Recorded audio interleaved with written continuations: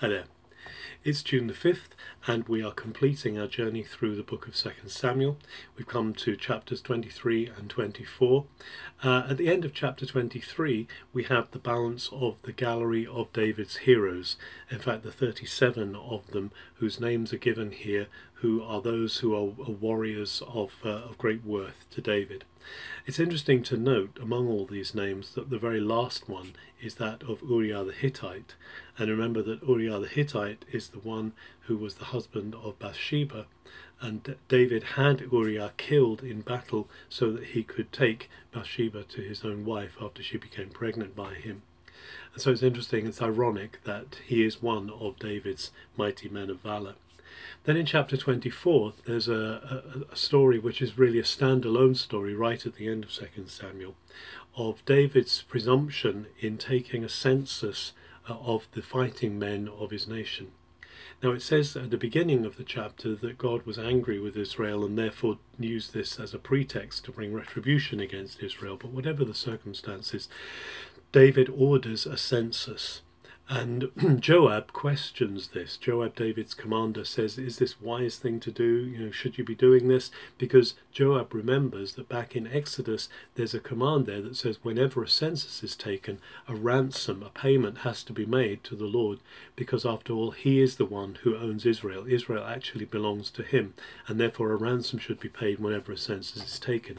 However, David doesn't take heed to this. Joab and the military men go out and they go throughout Israel and uh, it takes them about a month to count Israel, and then they come back and they find that there are the number of fighting men in Israel and Judah are 1,300,000. However, the Lord is angry about this, and through Gad, the prophet who he sends to David, he gives David a choice either seven years of famine, three months of being pursued by his enemies, or three days of plague.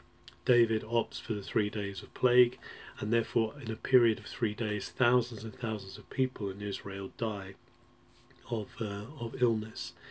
And at the end of the three days, David uh, wants to bring an end to it. He sees the angel actually, or who's bringing the plague, standing at a, a place in, in, Jerusalem called the, the threshing floor of Aravna. Aravna is a Jebusite. He's one of the original inhabitants, but we presume he's become part of the people of Israel now. And uh, David um, David wants to buy, or he wants to buy Aravna's threshing floor so that he can build an altar to the Lord to bring the bring the plague to an end. Aravna responds and says, King, uh, King David, I want you to have the, the, threshing floor for nothing. And you can not only have the threshing floor, but have the, my oxen for a sacrifice and have the wood to burn it on. But David says something very key. He says, No, I'm not going to offer the Lord something that costs me nothing. And so David gives uh, Aravna full price of the of the land for the threshing floor, and there he builds the altar, offers burnt offerings, and the plague is stayed. There's something very key here that we understand. God, when we make offerings to God, is something that's valuable to Him, something that He values, and it needs to cost us when we do that. After all, when God sent Jesus, He gave everything He had for us. This was the supreme sacrifice and cost Him everything.